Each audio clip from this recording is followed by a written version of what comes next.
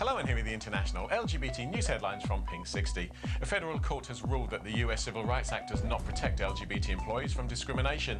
Jameka Evans was fired from her job as a security guard at a Georgia hospital in 2015 because she's lesbian. Following a boycott threat by the city mayor and some advertisers, Boston's St Patrick's Day parade has reversed its ban on gay veterans.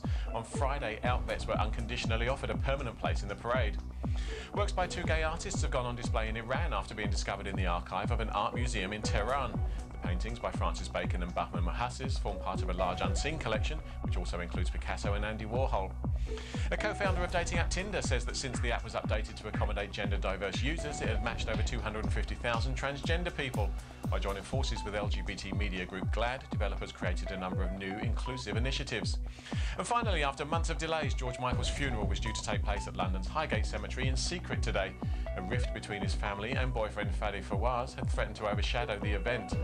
Well, that's all from us for today. Join us again tomorrow for more of the latest LGBT news headlines. And you can find out more about these and other news stories by searching for hashtag Pink60 on social media.